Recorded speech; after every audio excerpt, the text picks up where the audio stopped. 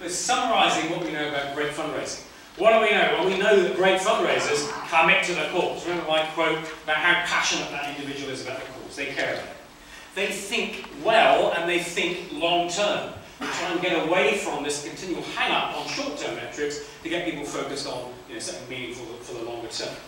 They also set an outstanding culture of learning in the organisation. It's okay to fail so long as we learn from that, and not only learn from it, but change what we do when we've learned from it, which is often the bit that, that goes wrong.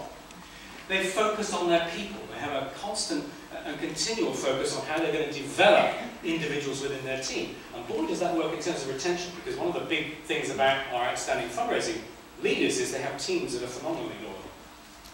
They inculcate systems thinking within themselves, uh, within members of their team. They manage upward.